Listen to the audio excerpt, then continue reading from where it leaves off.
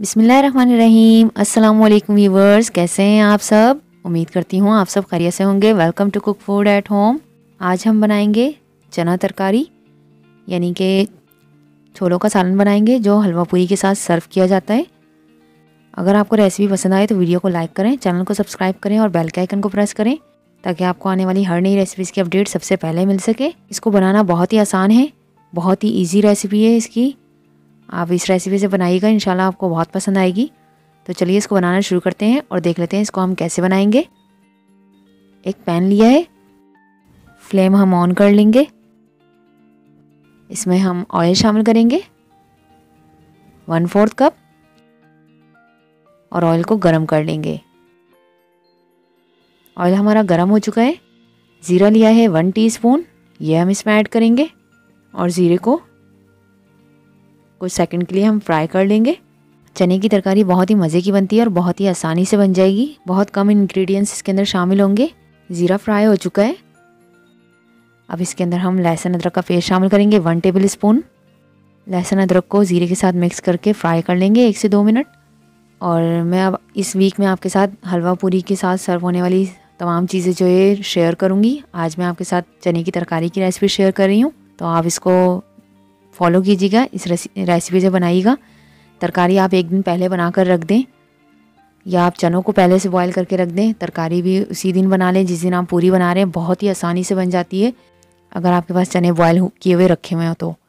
लहसुन, अदरक हमारा फ्राई हो चुका है बातों ही बातों में। इसमें थोड़ा सा पानी शामिल करेंगे। मसाले शामिल करने से पहले हम इसके अंदर थोड़ा सा पानी शामिल कर लेंगे, ताकि मसाले हमारे जले नहीं। तो अब हम इसके अंदर मसाले ऐड कर लेते हैं। पिसी हुई लाल मिर्च डालेंगे इसमें वन टेबल स्पून भर के। पिसा हुआ धनिया डालेंगे इसमें वन टेबल स्पून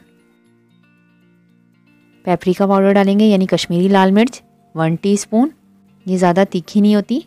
नमक डालेंगे इसमें हाफ़ टी स्पून या आप अपने जायके के मुताबिक शामिल करें, क्योंकि वो जो मैंने चने बॉयल किए हैं, उसमें भी मैंने हाफ़ टी स्पून नमक शामिल किया है। तो इसलिए नमक को हम एहतियात से शामिल करेंगे। चाट मसाला डालेंगे इसके अंदर वन टेबल स्पून इसके अलावा ज़ीरा पाउडर जाएगा इसमें वन टीस्पून। इन तमाम मसालों को हम मिक्स कर लेंगे अच्छे तरीके से और इसको हम भून लेंगे। थोड़ा थोड़ा पानी शामिल करके हम मसाले को दो से तीन मिनट भूनेंगे। अच्छे तरीके से मीडियम फ्लेम पर मसाला हमारा जलना नहीं चाहिए, वरना इसका टेस्ट ख़राब हो जाएगा, खाने में मज़ा नहीं आएगा। बस हमें इतना कुक करना है कि ये अच्छे तरीके से भून जाए और इसका कच्चापन ख़त्म हो जाए मसालों का। ये देखें दो से तीन मिनट हो चुके हैं, मसाले हमारे भून चुके हैं।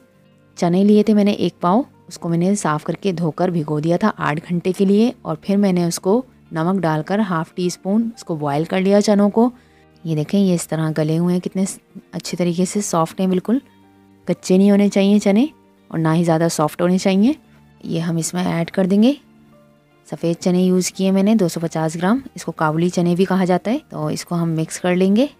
और मसालों के साथ भून लेंगे ताकि चनों में भी मसालों का फ्लेवर आ जाए।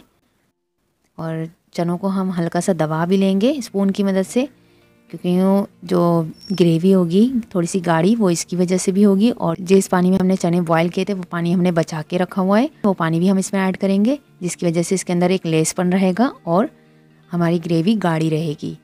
चने की तरकारी वैसे ज़्यादा गाढ़ी नहीं होती, ये पतली ही होती है।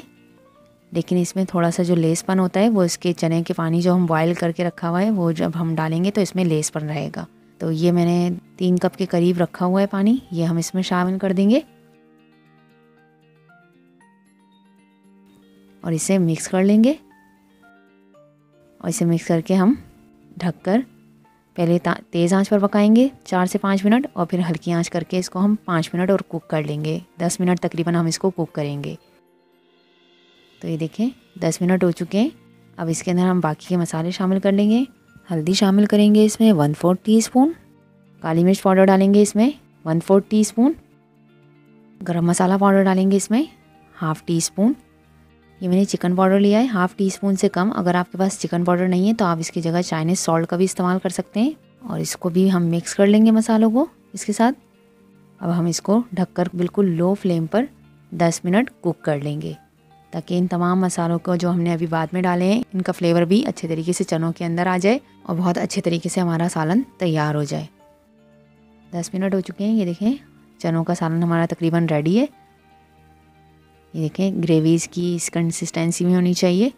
आप चाहें तो इसको पतला भी रख सकते हैं, आप चाहें अपनी मर्ज़ी के ऊपर आपकी डिपेंड करता है, आप चाहें तो इसको गाढ़ा भी रख सकते हैं। लेकिन मुझे इतनी ही ग्रेवी चाहिए तो अब हम इसे डिश आउट कर लेते हैं। ये देखें, अल्हम्दुलिल्लाह अल्हम्दुलिल्लाह, मज़ेदार और आसान, झटपट बनने वाला चने का सालन, यानी कि पूरी के साथ सर्व करने वाली चने की तरकारी रेडी है। अल्हम्दुलिल्लाह, बहुत ज़बरदस्त खुशबू आ रही है इसके अंदर से और बहुत ही टेस्टी बनाई है। आप भी इस रेसिपी को ट्राई करें, हमें अपना फीडबैक दें। रेसिपीज़ को अपनी फैमिली के साथ, अपने फ्रेंड्स के साथ शेयर करें। अगर आपको रेसिपी पसंद आए तो वीडियो को लाइक करें चैनल को सब्सक्राइब करें और बेल के आइकन को प्रेस करें, ताकि आपको आने वाली हर नई रेसिपीज़ की अपडेट सबसे पहले मिल सके। दुआ है अल्लाह ताला आपके खानों में, जायकों में, कारोबार में, सेहत में आसानियाँ और बरकतें अदा फरमाएँ, आमीन। इसी के साथ हमें इजाज़त दें अपना और अपने प्यारों का ख्याल रखिएगा, हमें अपनी दुआ में याद रखिएगा। अल्लाह हाफिज़।